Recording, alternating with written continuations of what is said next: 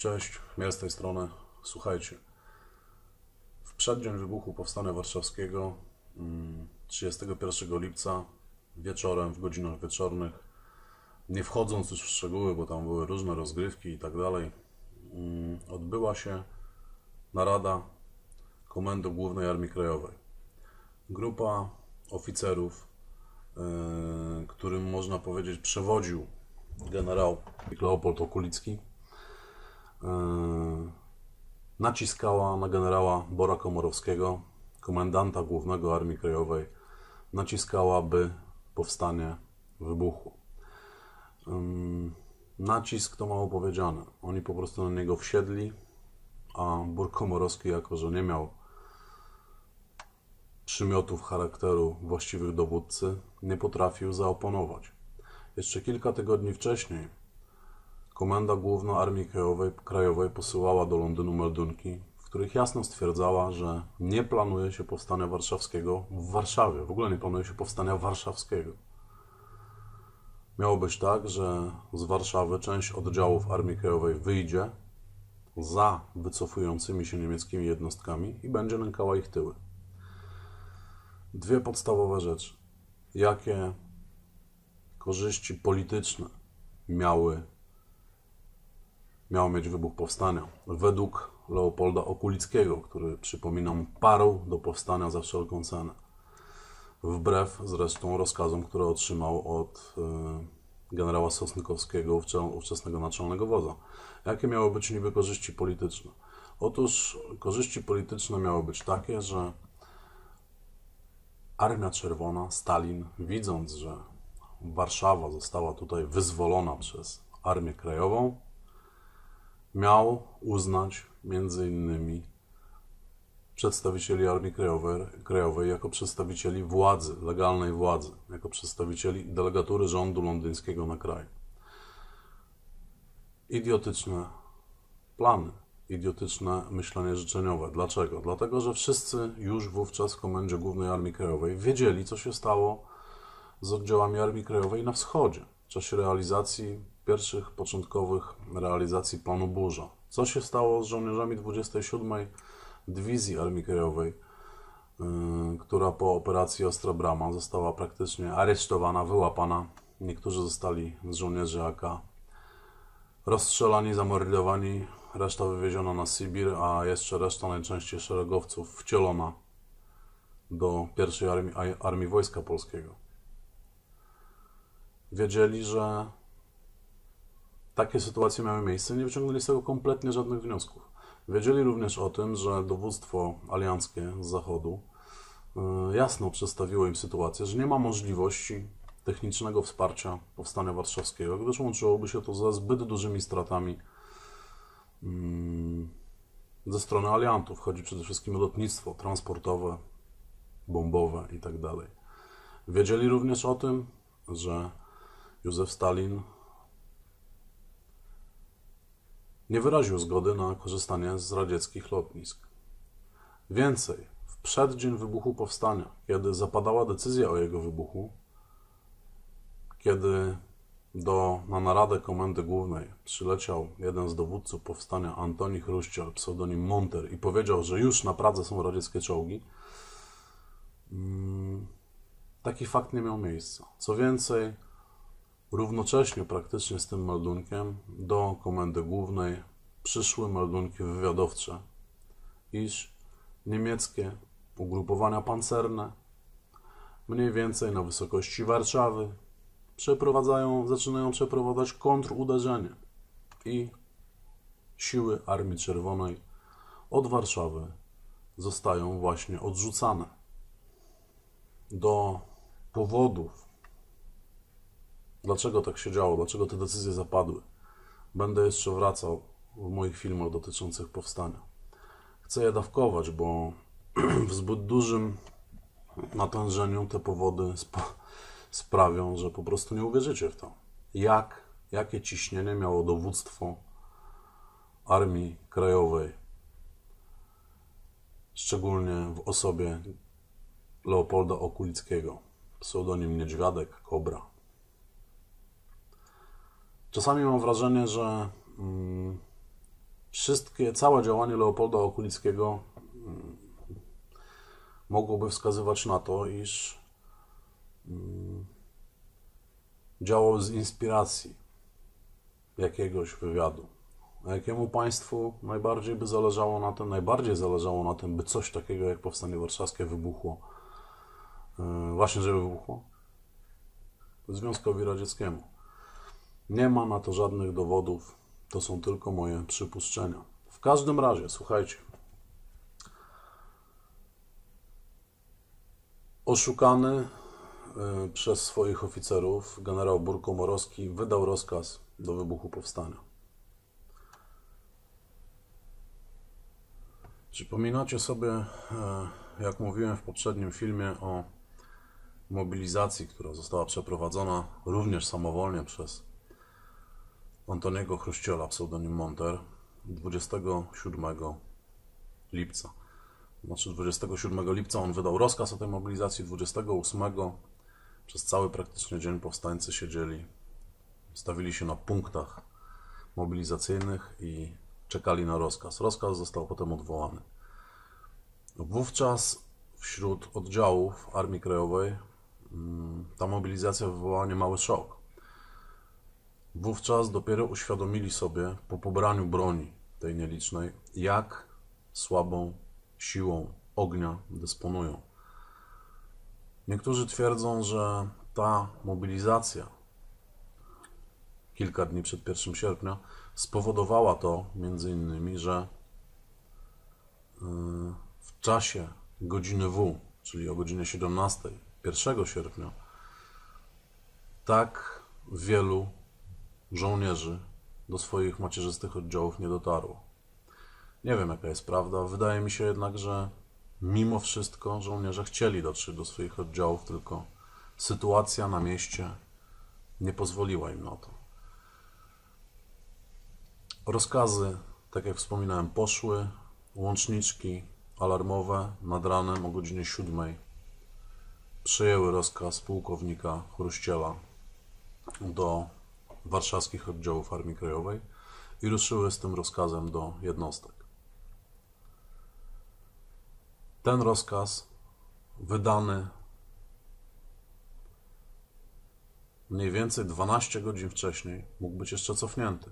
Tym bardziej, że generał Bur Komorowski po wydaniu rozkazu o wybuchu powstania dowiedział się już z konkretnych, potwierdzonych źródeł, że nie ma co liczyć w najbliższych dniach na Armię Czerwoną w granicach Warszawy, gdyż właśnie jest odrzucana przez dywizje pancerne SS na wschód.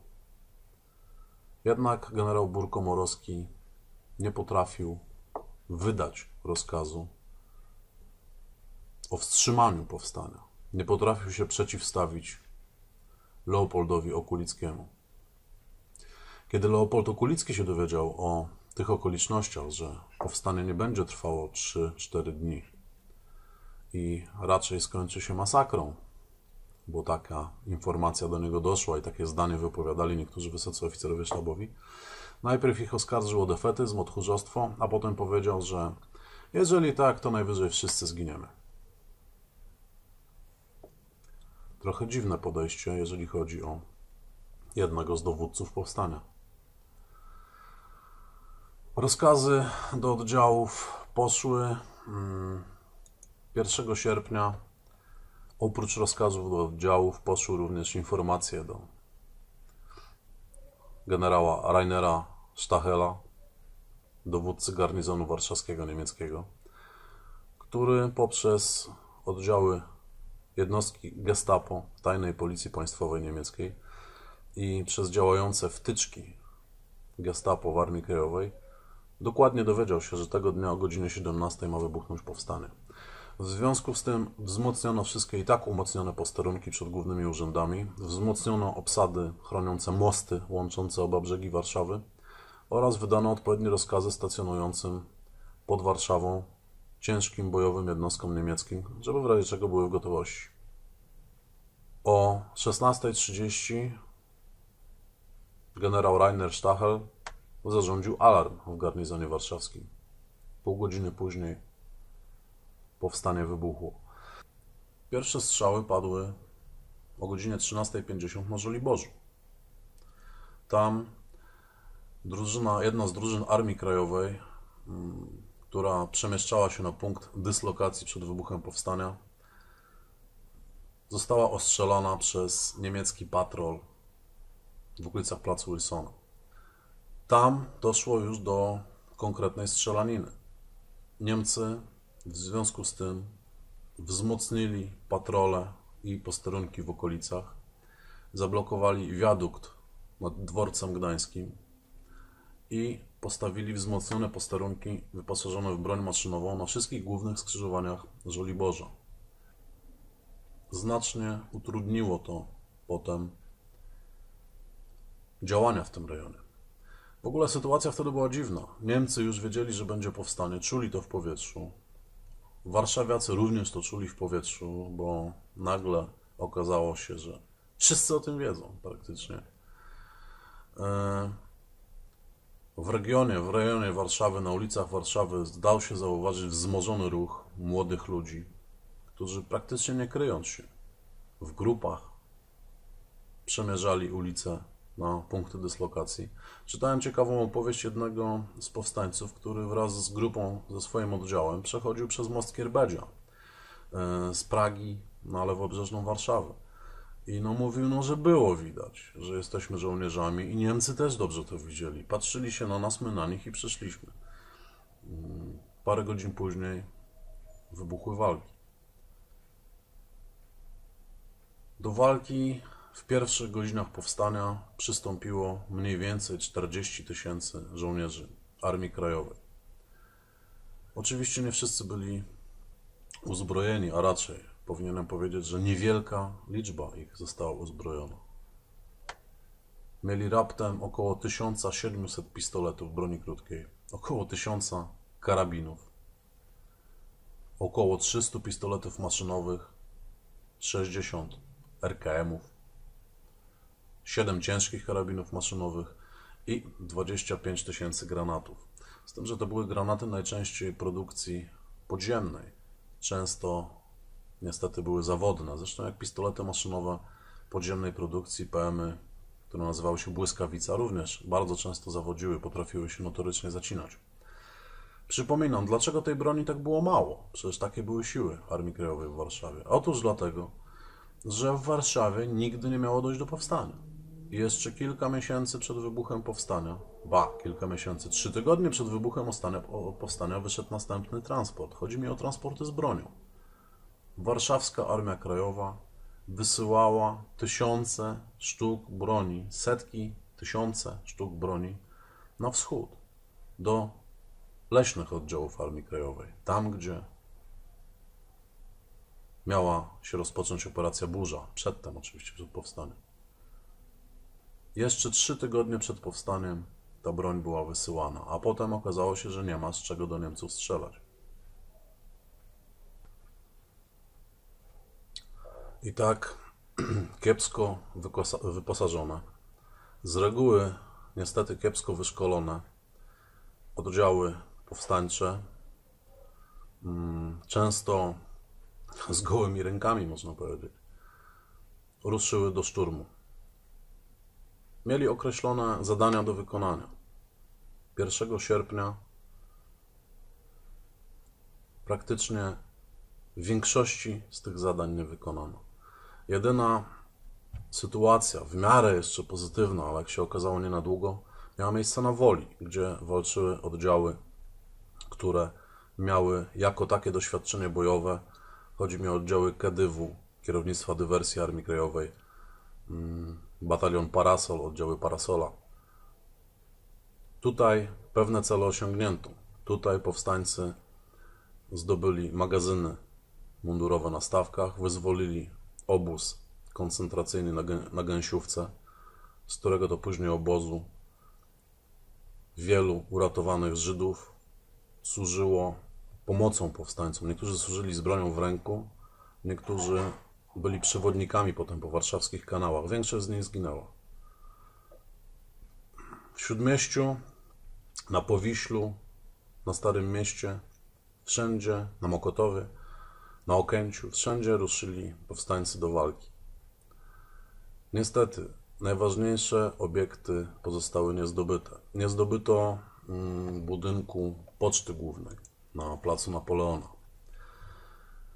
Nie zdobyto, nie zdobyto centrali telefonicznej, która, która mieli w ten sposób odciąć łączność niemiecką e, powstańcy.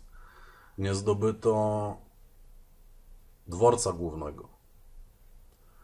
Kompleks budynków na Placu Saskim, tam gdzie obecnie znajduje się grup nieznanego żołnierza, który jest częścią tego Pałacu Saskiego, również nie został zdobyty, zostali powstańcy w tamtym rejonie odcięci.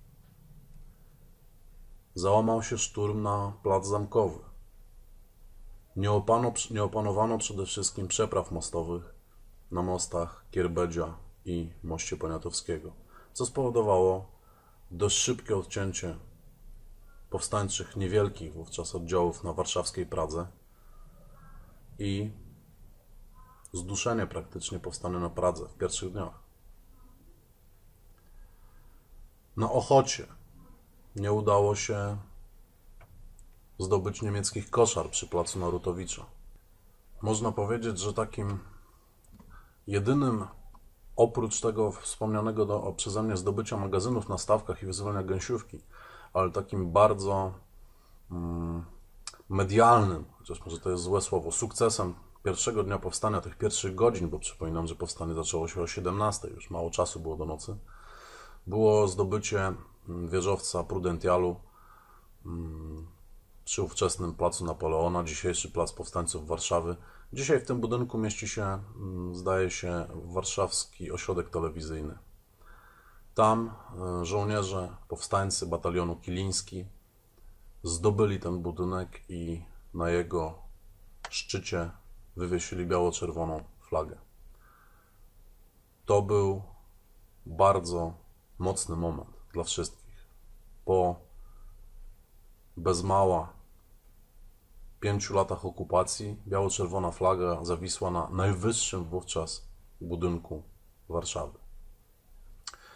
Oddziały, które, którym nie udało się wykonać swoich zadań na Żoliborzu i Ochocie, generalnie nie były w stanie również przebić się do centrum miasta.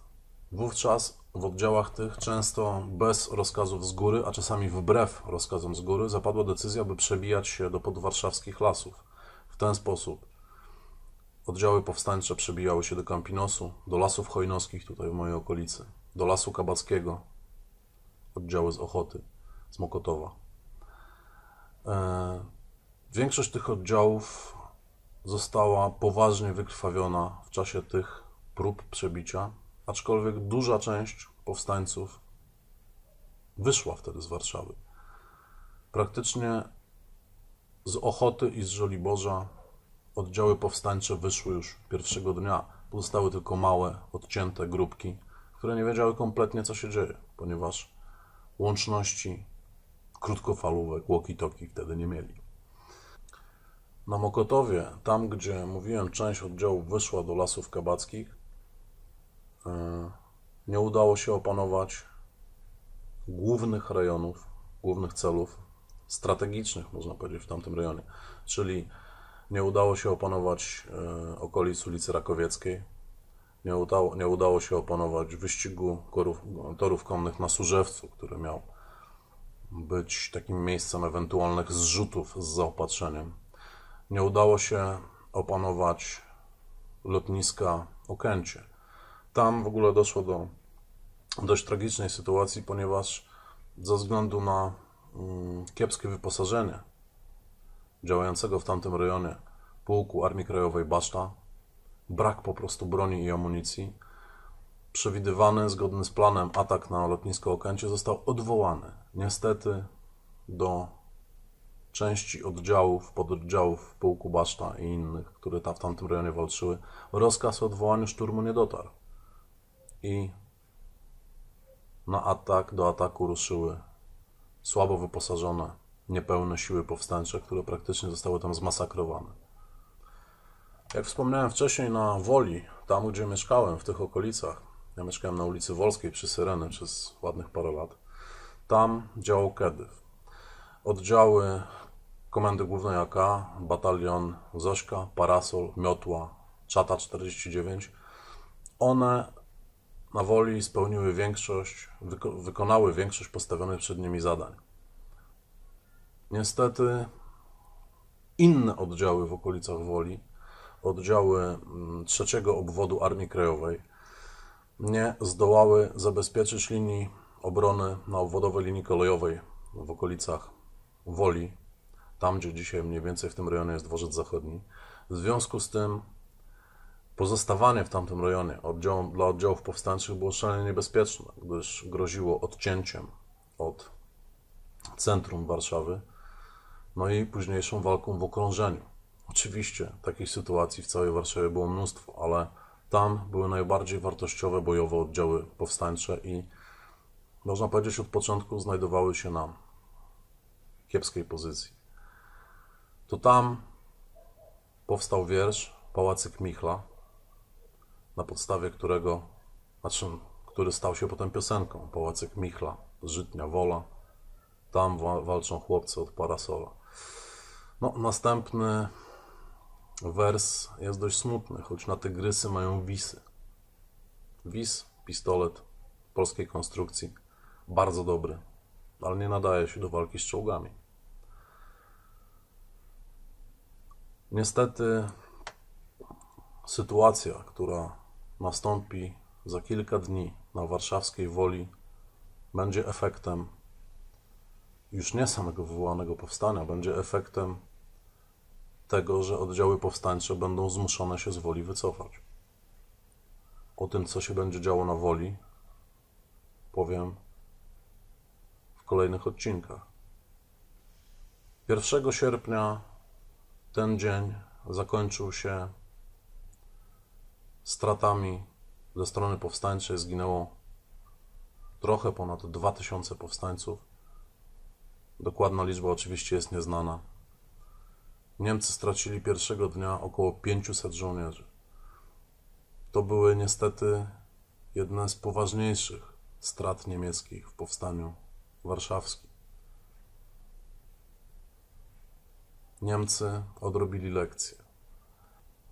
Oddziały niemieckie pozostające w Warszawie miały za zadanie przetrwać w odosobnionych punktach oporu, te, które były w Śródmieściu i na Starówce, ponieważ te dzielnice zostały no, prawie całe opanowane przez powstańców, mieli przetrwać i czekać na odsiecz, która już nadchodziła, bowiem 1 sierpnia o świcie, tak jak wspominałem, rozpoczęła się niemiecka kontrofensywa w rejonie Warszawy. Tego dnia dowódca II Pancernej Armii Radzieckiej wydał rozkaz o przejściu do obrony i wojska Armii Czerwonej zaczęły się cofać. Jak na wieść o wybuchu powstania zareagował Adolf Hitler?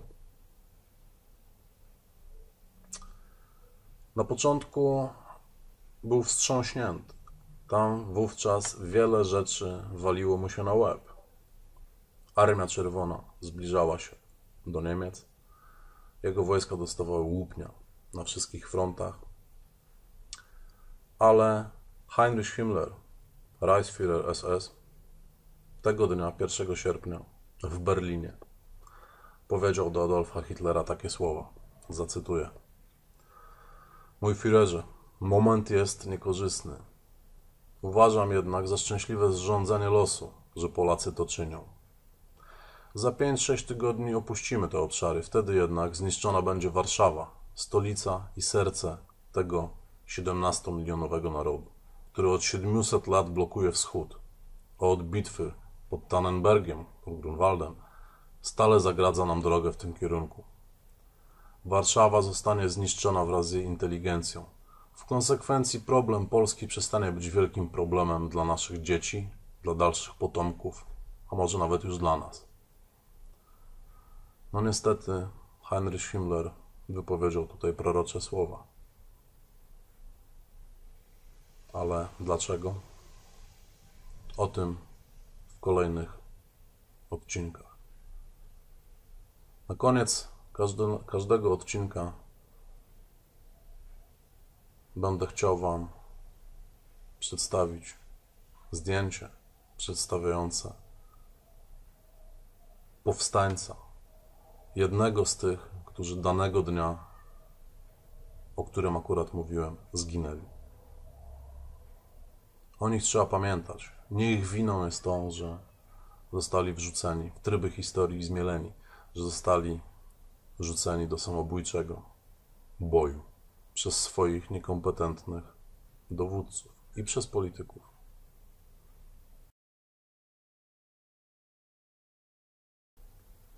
1 sierpnia została śmiertelnie ranna Krystyna Krachelska, pseudonim Danuta. Zmarła w noc z 1 na 2 sierpnia. Miała 30 lat. Przed wojną była instruktorem harcerskim, studiowała geografię, etnografię na Wydziale Humanistycznym Uniwersytetu Warszawskiego Zresztą skończyła ten uniwersytet z tytułem magistra. Mm. Znana również była z tego przed wojną, że pozowała rzeźbiarce Ludwice Niczowej do pomnika warszawskiej Syreny. Jest również autorką piosenki, tekstu do piosenki Hej chłopcy, bagnet na broń, który napisała w styczniu 1943 roku dla żołnierzy Pułku Armii Krajowej Baszta. Godzinę W rozpoczęła będąc sanitariuszką 7 Pułku Ułanów Lubelskich Armii Krajowej. Koncentracja jej plutonu w sile 44 ludzi odbyła się w mieszkaniu przy ulicy Polnej 46. O godzinie 17 oddziały Armii Krajowej do których należała również Danuta, ruszyły ulicą Polną do szturmu na Dom Prasy przy ulicy Marszałkowskiej 3 przez 5. Danuta znajdowała się cały czas przy drugiej drużynie, która atakowała od strony pól mokotowskich. Niestety Niemcy odrzucili atak siódmego pułku Powstańcy musieli wycofywać się przez pola mokotowskie, wolne od szkopów rejony. I tam, tam Krystyna Kracherska mm, przeszła swój chrzest bojowy. Tam opatrzyła m.in. dowódcę swojej drużyny, kaprala Zygmuntowskiego, na polach mokotowskich. Odprowadziła go do punktu sanitarnego, który znajdował się w pobliskiej cukierni Lardellego. Gdy odprowadziła swojego dowódcę na punkt, ponownie wróciła na pola mokotowskie, wracając przez obłożoną silnym ogniem niemieckim ulicę Polną. Tam znalazła na rannego, ciężko rannego podporucznika Władysława Kocha, pseudonim Mistrz. Odciągnęła go w bezpieczne miejsce, po czym po raz kolejny, po raz trzeci zawróciła w kierunku pól mokotowskich, by dołączyć do swojego plutonu. Wtedy otrzymała serię w brzuch. Została trafiona trzema pociskami z dachu budynku komendy straży pożarnej. Upadła na polu mokotowskim. Zaraz w jej kierunku ruszyła kolejna sanitariuszka, Janina Krasowska, pseudonim Jagienka. Obok Podczołgał się również kapral Zbigniew Wrześniowski, pseudonim Wrzos. Pozwolicie, że zacytuję teraz wspomnienia sanitariuszki Janiny Krasowskiej, pseudonim Jagienka. Chcieliśmy opatrzyć się na miejscu z wrzosem. Leżąc przy niej, udało nam się obrócić. Strzelano do nas. Świadoma niebezpieczeństwa, jakie nam grozi, Danuta, czyli Krystyna Krachelska, mówiła: Odejdźcie, odsuńcie się, zostawcie mnie. Chcieliśmy podciągnąć ją bodaj pod osłonę rosnących w pobliżu słoneczników. Kapral wrzos uniósł się na łokciu i dostał kulę prosto w ucho. Zginął na miejscu. Dopiero gdy zapadł zmrok z pól mokotowskich, wydostał Danutę, Krystynę Krachelską, patrol sanitariuszy. Przeniesiono ją do punktu opatrunkowego. W nocy była operowana, jednakże zmarła 2 sierpnia o 4 nad ranem. Została pochowana tuż przed domem przy ulicy Polnej 46, domem, z którego kilka, kilkanaście godzin wcześniej wyruszyła do powstania. Za swoje czyny w dniu 1 sierpnia została pośmiertnie odznaczona Krzyżem Walecznych. Cześć jej pamięci.